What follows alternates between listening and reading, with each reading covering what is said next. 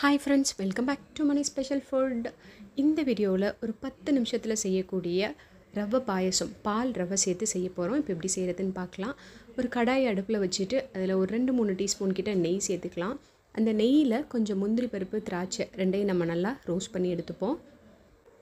இப்போ வறுத்த முந்திரி பருப்பு திராட்சை ரெண்டையும் எடுத்து ஒரு பிளேட்டில் வச்சுட்டு இதே நெய்யில் நான் நாலு டீஸ்பூன் கிட்ட ரவை சேர்த்துக்கிறேன். இந்த ரவையும் இந்த நெய்யில் கொஞ்சம் நல்லா வறுத்து விட்டுக்கலாம். இந்த ரவை நெய்யில் கொஞ்சம் வறுப்பட்டதும் இது கூட அரை லிட்டர் பால் இங்கே எடுத்திருக்கேன். அதை அப்படியே சேர்த்துக்கிறேன். இந்த பாலில் தண்ணி எதுவும் நம்ம சேர்க்க வேண்டாம். வெறும் பால் மட்டும் போதும். பால் சேர்த்துட்டு இந்த மாதிரி கலந்து விட்டுடலாம் இப்போ அடுப்பை ஹை ஃப்ளேமில் நம்ம வச்சுக்கலாம். ஏன்னா பால் நமக்கு சீக்கிரமே கொதிக்க ஆரம்பிச்சிடும் இப்போ பாருங்கள் பால் நல்லா கொதிக்க ஆரம்பிச்சிருச்சு. நம்ம பாலில் தண்ணி எதுவும் சேர்க்கல. அதனால் சீக்கிரமே திக்காயிடும்.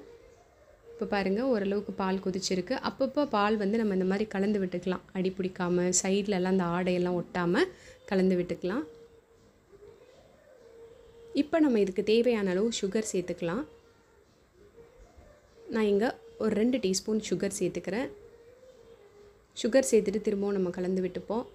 இப்போ பாருங்கள் நமக்கு பாயசம் ஓரளவுக்கு நல்லாவே ரெடி ஆகிடுச்சு இப்போ ஸ்டவ்வை ஆஃப் பண்ண போகிற ஸ்டேஜில் ரெண்டு ஏலக்காய் இடித்து நான் அதில் சேர்த்துருக்கேன்.